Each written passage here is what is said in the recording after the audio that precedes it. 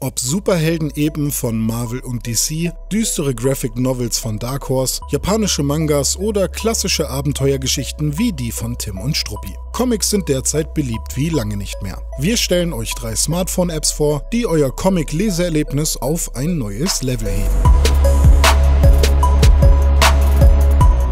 Es gibt kaum eine Technologie oder Medienbranche, in der Amazon seine Finger nicht im Spiel hat. Ursprünglich hat der Tech-Gigant allerdings als Buchversand begonnen. Da ist es nicht überraschend, dass sich das Unternehmen auch ganz gezielt der Comicbuchleserschaft widmet. Das Tochterunternehmen Comixology betreibt den weltweit größten digitalen Comicstore mit rund 100.000 Titeln und über 250 Millionen Downloads. Die App Comics by Comixology überzeugt zudem mit seinem übersichtlichen Reader. Der Guided View führt dich in der richtigen Reihenfolge von Panel zu Panel und leitet dich so durch die Story.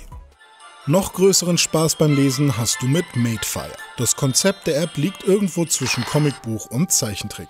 Mit den sogenannten Motion Books findest du darin extra für Madefire aufgewertete oder gleich ganz neu produzierte digitale Comics. Der Lesefluss wird dabei durch dezente Animation und Hintergrundgeräusche begleitet, sodass du noch tiefer in die Story eintauchen kannst. Echte Comic-Nerds schwören auf Comic Rack. Der Reader hat zwar keinen integrierten Online-Store, dafür kannst du damit Comics, die du beispielsweise bereits auf deinem Windows-PC gespeichert hast, auf dein Smartphone rüberheben. Die App unterstützt alle gängigen Comic-Dateiformate und ist selbst für Mangas geeignet, die du dort von rechts nach links lesen kannst. Comic Rack gibt's sowohl in einer kostenlosen als auch in einer Kaufversion.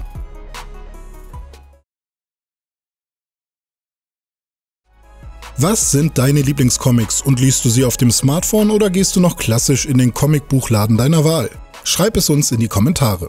Abonniere den O2-Kanal, um keines unserer Videos mehr zu verpassen und den Klick auf die Glocke nicht vergessen.